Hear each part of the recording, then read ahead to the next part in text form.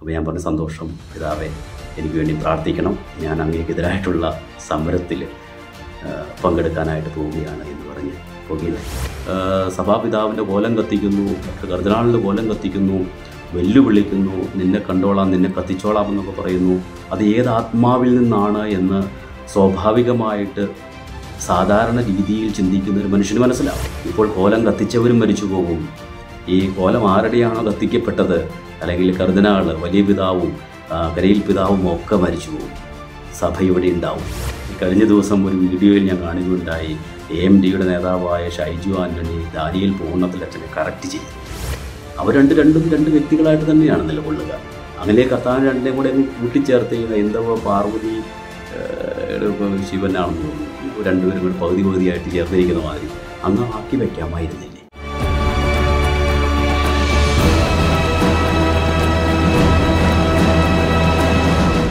ഞാൻ നാട്ടിൽ പോയിരുന്നു.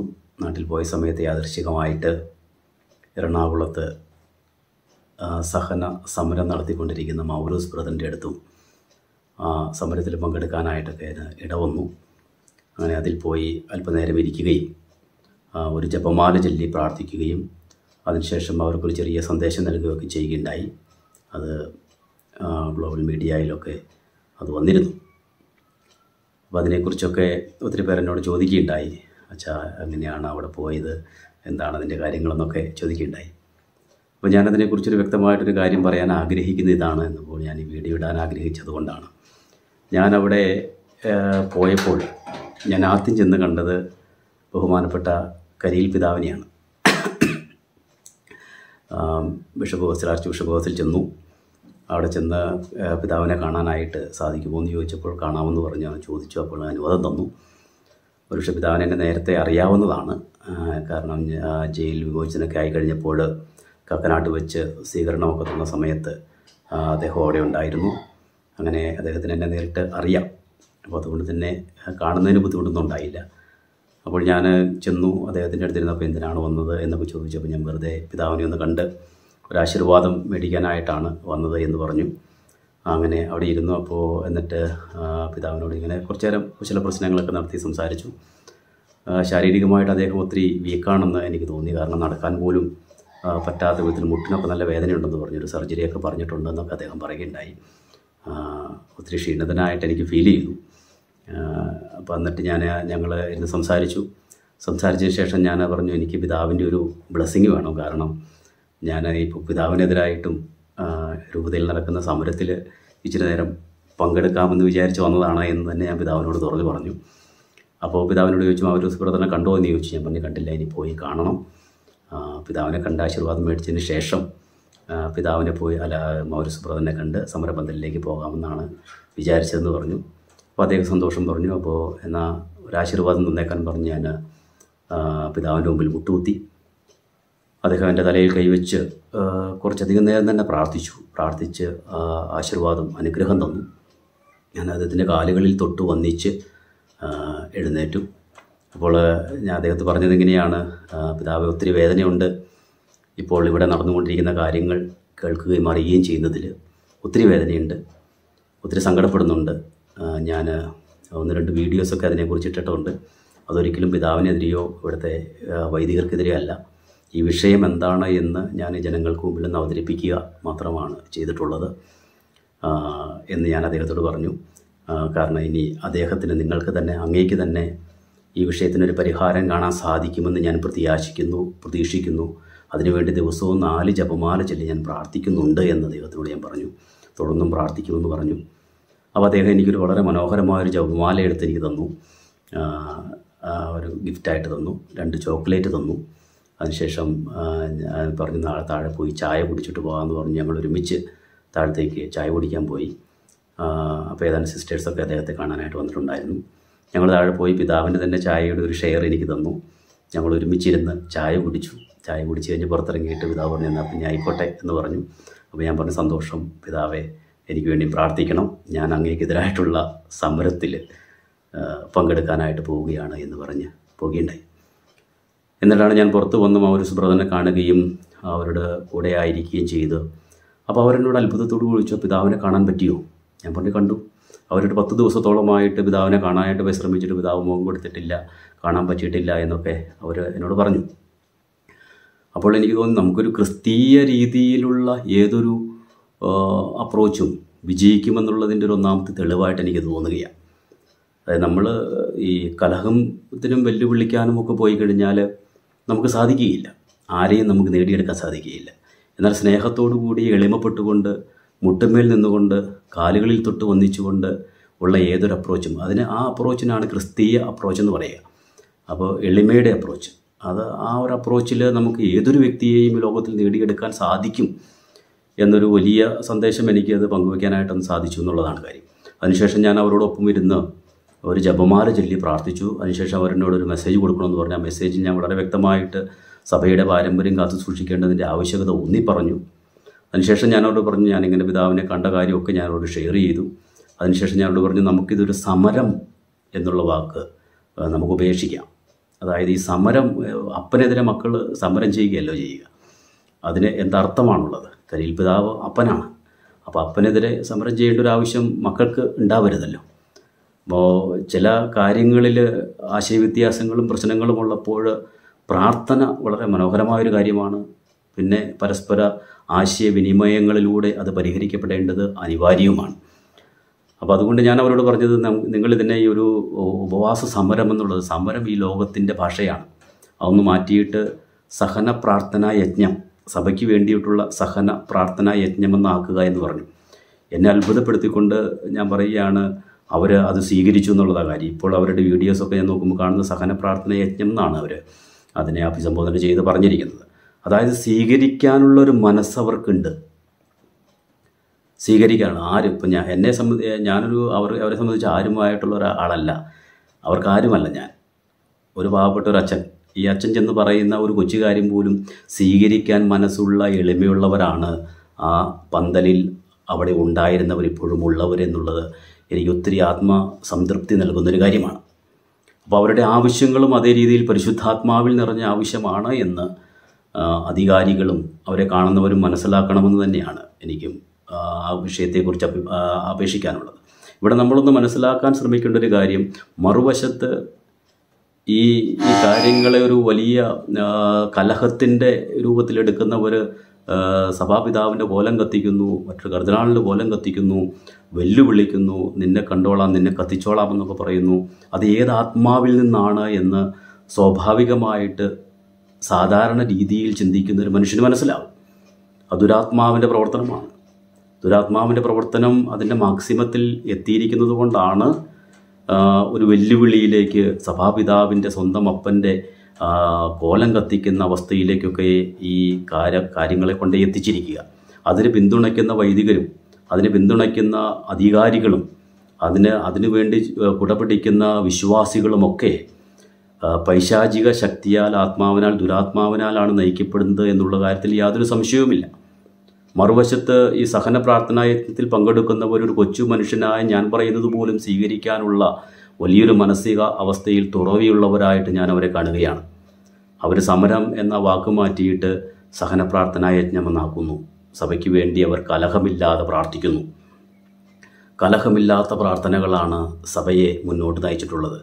ഞാൻ പറയുന്നത് ഇതാണ് ഞാനും മരിച്ചു പോകും ഇപ്പോൾ സമരത്തിലിരിക്കുന്നവരും മരിച്ചു പോകും ഇപ്പോൾ കോലം കത്തിച്ചവരും മരിച്ചു പോകും.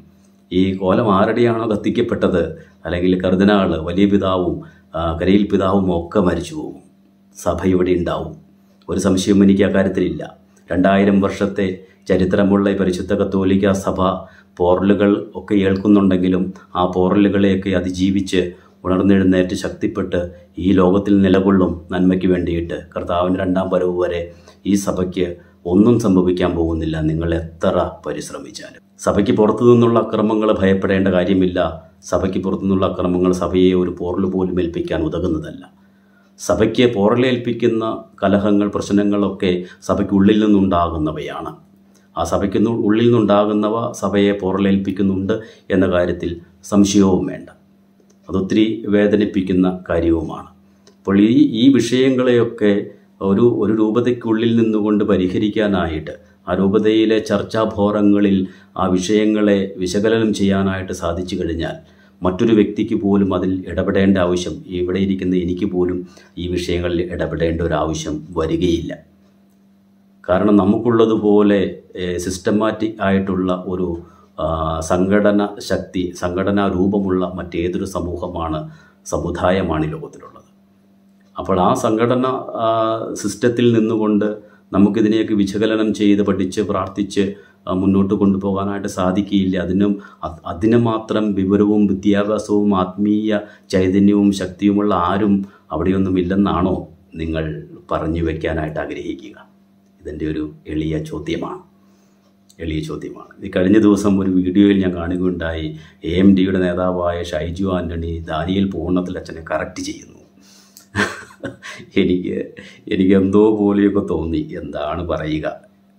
ഒന്നും പറയാനില്ല. ഈ എ എം ടി എന്ന് പറയുന്ന archdiocesan movement for transparency transparency എല്ലാം ക്ലിയർ ആയിരിക്കണം. എല്ലാം ക്ലിയർ ആയിരിക്കണം. നല്ല കാര്യമാണ്. എല്ലാം ക്ലിയർ ആയിരിക്കും. നല്ല കാര്യമാണ്. ഈ ട്രാൻസ്പെറൻസി എന്ന വാക്കും പൂർണ ജനാഭിമുഖം എന്ന വാക്കും തമ്മിൽ എന്തോ ഒരു അന്തർധാര കാണുന്നില്ലേ എന്ന് അവരുടെ സാന്നിധ്യത്തിൽ നിന്ന് തന്നെ വ്യക്തമാണ്. ഈ സഭ തീരുമാനത്തിനെതിരെ പ്രവർത്തിക്കുന്നവരുടെ മുൻപന്തിയിൽ തന്നെ ഉണ്ട് ഈ പറയുന്ന വ്യക്തികളൊക്കെ. അവരുടെ പിന്നാമ്പുറങ്ങളിലുമൊക്കെ ഇവർ ശക്തമായിട്ട് ഉണ്ട് എന്നുള്ളതാണ് കാര്യം. ആ ആ വ്യക്തി യൂട്യൂബിൽ കയറിയിരുന്ന് ദാനിയൽ പൂർണത്തിലച്ഛനെ പോലെയൊക്കെ വചനത്തിന്റെ ആഴങ്ങളിലേക്ക് പരിശുദ്ധാത്മാവിൽ സഞ്ചരിക്കുന്ന ഒരു വ്യക്തിയെ ഒരു വൈദികനെ കറക്റ്റ് ചെയ്യുന്ന വിധത്തിൽ സുവിശേഷം പറയുന്നു. ഒരൊറ്റ കാര്യമാണ് എന്റെ മനസ്സിലേക്ക് കടന്നു വന്നത്. നാൽപ്പത് ദിവസം ഉപവാസത്തിന് ശേഷം ഈശോയ്ക്ക് വിശന്നപ്പോൾ ഈശോയുടെ മുമ്പിലേക്ക് കടന്നു ചെല്ലുന്ന പിശാശ് ഈശോയോട് വചനം പറയുന്നുണ്ട്. അപ്പോൾ യേശുവിനോട് പോലും വചനം പറയാൻ സാധിക്കുന്ന ആ ഒരു ഒരമ്മാവൻ ഞാനത് അമ്മാവൻ എന്ന് പറയാം നമുക്ക്. ആ ഒരു അമ്മാവനെയാണ് ഈ വചന ശുശ്രൂഷ കേട്ടപ്പോൾ എനിക്ക് ഓർമ്മ വന്നത് എന്ന് മാത്രം പറഞ്ഞു വയ്ക്കുകയാണ് അപ്പോൾ യൂട്യൂബ് മിനിസ്ട്രി എത്രത്തോളമൊക്കെ എത്തിച്ചേർന്നിരിക്കുന്നു എന്നുള്ളതിന്റെ അടയാളം കൂടിയാണത്. അതുകൊണ്ട് ഞാൻ പതുക്കെ ഈ യൂട്യൂബ് മിനിസ്ട്രി അവസാനിപ്പിക്കാമെന്നുള്ളൊരു തീരുമാനത്തിലേക്കാണ് ഞാൻ എത്തിയിരിക്കുക. അപ്പോൾ ഇതൊക്കെ കാരണം ഇത് എവിടം വരെ എത്തി എന്നുള്ളതിന്റെ വ്യക്തമായ അടയാളങ്ങൾ നമ്മൾ സമൂഹത്തിൽ കണ്ടു കഴിഞ്ഞു. ഒരു പരിധിവരെ ഈ ഒരു വിഷയത്തെക്കുറിച്ച് ധ്യാനിക്കുമ്പോൾ എന്റെ പ്രിയപ്പെട്ട മക്കൾ എന്റെ മനസ്സിൽ കഴിഞ്ഞ നാളുകളിൽ പ്രാർത്ഥിച്ച് ധ്യാനിച്ച് വന്നപ്പോൾ കണ്ട ഒരു ചിന്ത. അത് ഞാൻ നിങ്ങളോടൊന്ന് പങ്കുവയ്ക്കാം. മിഡീവൽ ഫിലോസഫിയുടെയും വെസ്റ്റേൺ ഫിലോസഫിയുടെയും അതിപ്രസരം കൊണ്ട് ദൈവിക രഹസ്യങ്ങളെ പരസ്യമാക്കി മാറ്റാനുള്ള ഒരു ടെൻഡൻസി ഈ വെസ്റ്റേൺ രാജ്യങ്ങളിൽ വളരെ ശക്തമായി പ്രബലപ്പെട്ടതിന്റെ ഫലമായിട്ടാണ് ഈ പൂർണ ജനാഭിമുഖ കുർബാനയുടെയൊക്കെ ആവിഷ് ആവിഷ്കാരമെന്ന് എനിക്ക് പറഞ്ഞു വയ്ക്കാനായിട്ട് വ്യക്തമായിട്ട് സാധിക്കും. കാരണം എല്ലാം കാണണം എല്ലാം അറിയണം ഒന്നും രഹസ്യങ്ങളല്ല എന്ന് പറയുന്ന ഒരു ഒരു രീതിയിലേക്ക് മനുഷ്യൻ എത്തിച്ചേർന്നിരിക്കുന്നു നമുക്കറിയാൻ മനുഷ്യനറിയാൻ പറ്റാത്ത യാതൊരു കാര്യവും ലോകത്തിലില്ല എന്നുള്ളൊരവസ്ഥയിലേക്ക്. ഇതിന്റെ ഒരു വ്യക്തമായ പ്രതിഫലനമാണ് ഈ പൂർണമായിട്ട് ജനാഭിമുഖ കുർബാനയൊക്കെ ആവശ്യപ്പെടുന്നവർ പറഞ്ഞ എല്ലാം ഞങ്ങൾക്ക് വിസിബിൾ ആയിരിക്കണം. കർത്താവ് രണ്ടായിരം വർഷം മുമ്പ് കർട്ടൻ കീറി എല്ലാം വിസിബിളാക്കിയ സ്ഥിതിക്ക് ഞങ്ങൾക്ക് ഇതെല്ലാം കാണണം എല്ലാം അറിയണം എല്ലാം മനസ്സിലാക്കിയിരിക്കണം എല്ലാം കാണാതെ ഒന്നും ഒന്നും രഹസ്യമാക്കി വെക്കാൻ പറ്റില്ല എന്ന് പറയുമ്പോൾ ഈ രഹസ്യാത്മകത മാറണമെന്ന് പറയുന്നിടത്ത് അതുകൊണ്ടാണല്ലോ അച്ഛൻ തിരിഞ്ഞു നിൽക്കാൻ പാടില്ല എന്ന് പറയുന്ന ആ ഒരു കാഴ്ചപ്പാട്. അവിടെ ഞാനിങ്ങനെ ധ്യാനിച്ചപ്പോൾ എനിക്ക് തോന്നി അവരതിനെ പറയുന്ന കൽതായവാദമെന്നാണ്. അപ്പോൾ ഒരു വലിയ ഒരു കൽതായവാദിയെ ഞാൻ ഈ നാളുകളിൽ കണ്ടു. ഞാൻ പ്രാർത്ഥിച്ചപ്പോൾ വിചിന്തനം ചെയ്തപ്പോൾ ഒരു വലിയ കൽതായവാദിയെ കണ്ടു. ആ കൽതായവാദിയുടെ പേര് യേശു ക്രിസ്തു എന്നാണ്. അങ്ങനെയെങ്കിൽ കത്തിക്കേണ്ടത് യേശു ക്രിസ്തുവിന്റെ രൂപം തന്നെയാണ്. ഒരു കൽതായവാദിയുടെ രൂപം കത്തിക്കണമെങ്കിൽ അത് യേശു ക്രിസ്തുവിന്റെ രൂപമാണ് കത്തിക്കേണ്ടത്. കാരണം ഏറ്റവും വലിയ കൽതായവാദി യേശുക്രിസ്തുവാണ്. കാരണം ഏഴ് കൂതാശകൾ അവൻ ആവിർഭവിച്ചപ്പോൾ അവൻ രൂപീകരിച്ചപ്പോൾ ആ ഏഴ് കുതാശകളിലും വലിയൊരു രഹസ്യാത്മകത അവൻ ചേർത്ത് വെച്ചിട്ടുണ്ട്. എല്ലാം പരസ്യമല്ലെന്ന് അതിന്റെ അർത്ഥം. അങ്ങനെയല്ലായിരുന്നുവെങ്കിൽ ഈ പട്ടം സ്വീകരിച്ച സമയത്ത് ഈ ഓർഡിനേഷന്റെ സമയത്ത് പിതാവ് കൈവയ്ക്കുമ്പോൾ എന്റെ തലയിൽ കൈവയ്ക്കുമ്പോൾ ആ ഈ കുതാശ പരിക്രമം ചെയ്യുമ്പോൾ എന്റെ തലയിൽ ഒരു ഒരു ചെറിയ ഉണ്ടയെങ്കിലും ഉണ്ടാക്കി വെക്കണമായിരുന്നു. ഞാൻ അച്ഛനായി എന്നുള്ളതിന്റെ ഒരു വിസിബിൾ സൈനായിട്ട് ഇതൊന്നുമില്ല. പ്രത്യേകിച്ച് എന്റെ ശരീരത്തിൽ യാതൊരു മാറ്റവും ഞാൻ അച്ഛായ അച്ഛനായത് വഴിയായിട്ട് ഉണ്ടായിട്ടില്ല. വിസിബിളായിട്ട് എന്നാൽ ഇൻവിസിബിളായിട്ടുള്ള ചേഞ്ച് ഉണ്ടായിട്ടുണ്ട്. ഒരു വൈദികൻ എന്ന നിലയിൽ എന്നിൽ മാറ്റം വന്നു അഭിഷേകത്തിന്റെ. അത് രഹസ്യമാണത്. കൂതാശയുടെ രഹസ്യം അങ്ങനെയാണ്. ഇനി പരിശുദ്ധ കുർബാന അർപ്പിക്കുന്ന സമയത്ത് തന്നെ ഈ ഒരു വലിയ രഹസ്യം സംഭവിക്കുന്നുണ്ട്. അത് പരസ്യമാക്കി കർത്താവ് മാറ്റിവെക്കുന്നില്ല. ഈ അപ്പവും വീഞ്ഞും തന്റെ ശരീരവും രക്തവുമായിട്ട് മാറ്റുമ്പോൾ നമ്മളത് പറയുന്ന ട്രാൻസബ്സ്റ്റാൻസിയേഷൻ എന്ന് പറയുന്ന ആ സംജ്ഞ തന്നെ എത്ര കഷ്ടപ്പെട്ടാണ് മനുഷ്യർക്ക് നമ്മളൊന്ന് മനസ്സിലാക്കി കൊടുക്കാനായിട്ട് സാധിക്കുന്നത് ശ്രമിക്കുന്നത്. അതായത് സത്താപരമായ മാറ്റമുണ്ടാകുന്നു വസ്തുവിന് മാറ്റം ഉണ്ടാകുന്നില്ല ഉണ്ടാകുന്നില്ല. ഇതൊന്നും മന പറഞ്ഞ് മനസ്സിലാക്കി കൊടുക്കാൻ എന്തോരം കഷ്ടപ്പാടാണ്. ഈ കഷ്ടപ്പാടിനെയൊക്കെ ഈസി ആയിട്ട് മാറ്റാമായിരുന്നുള്ള കർത്താവിന് ആ വസ്തു അങ്ങ് മാറ്റിയിരുന്നെങ്കിൽ. അവിടെയും കർത്താവ് ഈ ഫിഫ്റ്റി ഫിഫ്റ്റി ഫോർമുലയാണ് പിന്തുടർന്നിരിക്കുന്നത്. ഒരു ഒരു എന്താ പറയുക അകത്തൊരു വലിയ മാറ്റം സംഭവിക്കുന്നു പുറത്ത് മാറ്റം സംഭവിക്കുന്നില്ല. ഫിഫ്റ്റി ഫിഫ്റ്റിയാണ് എല്ലാ കൂതാശകളിലും ഈ ഫിഫ്റ്റി ഫിഫ്റ്റിയാണ് സംഭവിക്കുക. നമ്മൾ വിവാഹമെന്ന കൂതാശയിൽ രണ്ടുപേരും ഒന്നിച്ചു ചേരുന്നു എന്നാണ് പറയുക. രണ്ട് ഒന്നുകൾ വലിയൊരു ഒന്നായി മാറുന്നു. ഒരു വലിയ യൂണിറ്റിയിലേക്ക് വരുന്നു. ഇനിമേൽ നിങ്ങൾ രണ്ടല്ല ഒന്നാണെന്ന് പോലീസ് ലീഗായൊക്കെ വളരെ വ്യക്തമായിട്ട് സുവിശേഷത്തിൽ പറഞ്ഞു വയ്ക്കുന്നുണ്ട് അങ്ങനെയെങ്കിൽ ഈ ഒന്നാകൽ വിസിബിളാകുന്നില്ല അവർ രണ്ട് രണ്ടും രണ്ട് വ്യക്തികളായിട്ട് തന്നെയാണ് നിലകൊള്ളുക അങ്ങനെ കർത്താവിന് രണ്ടിനെയും കൂടെ കൂട്ടിച്ചേർത്ത് ഈ ഹൈന്ദവ പാർവതി ശിവനാണെന്ന് തോന്നുന്നു. രണ്ടുപേരും കൂടെ പകുതി പകുതിയായിട്ട് ചേർന്നിരിക്കുന്ന മാതിരി അങ്ങ് ആക്കി വയ്ക്കാമായിരുന്നില്ലേ എന്തുകൊണ്ട് ആക്കി വെച്ചില്ല? അങ്ങനെയൊന്നും. അപ്പോൾ ഈ ഫിഫ്റ്റി ഫിഫ്റ്റിയുടെ ഉപജ്ഞാതാവ് തന്നെ വാർത്താവായ യേശു ക്രിസ്തുവാണെന്ന് എനിക്ക് പലപ്പോഴും തോന്നിയിട്ടുണ്ട് ഇങ്ങനെ നോക്കുമ്പോൾ. എല്ലാ കാര്യങ്ങളും മനസ്സിലാക്കണം കണ്ടിരിക്കണമെന്നുള്ള വാശി ദുർവാശിയാണ്. ചില കാര്യങ്ങൾ രഹസ്യമാണ്. ആ രഹസ്യം പരസ്യമാക്കി വെക്കാൻ പറ്റില്ല പരസ്യമാക്കാനായിട്ട് പറ്റില്ല. നിങ്ങൾ ഓർക്കുക അത് ഈ സത്യത്തിൽ നമുക്കൊക്കെ അത് മനസ്സിലാകുന്നത് പോലെ വെസ്റ്റേണേഴ്സിന് അത് മനസ്സിലായെന്ന് വരില്ല.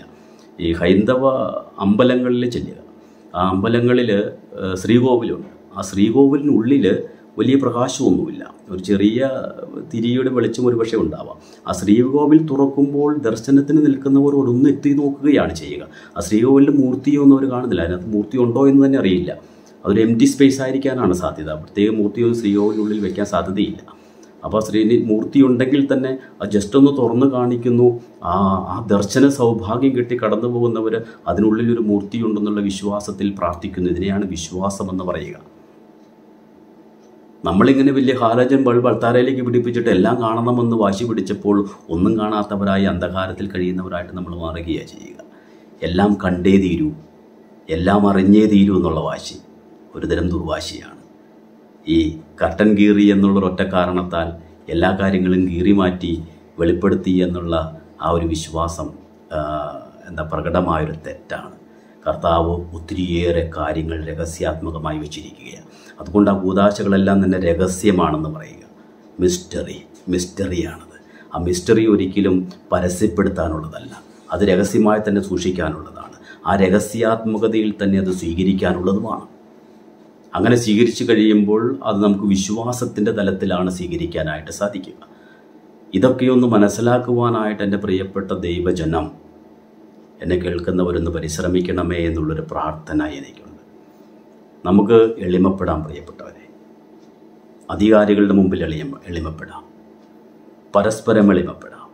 സ്നേഹത്തിന്റെ ഭാഷയിലൂടെ നമ്മെ ബാധിക്കുന്ന ഏതൊരു പ്രശ്നത്തെയും നമുക്ക് അഭിമുഖീകരിക്കുകയും പരിഹരിക്കുകയും ചെയ്യാം.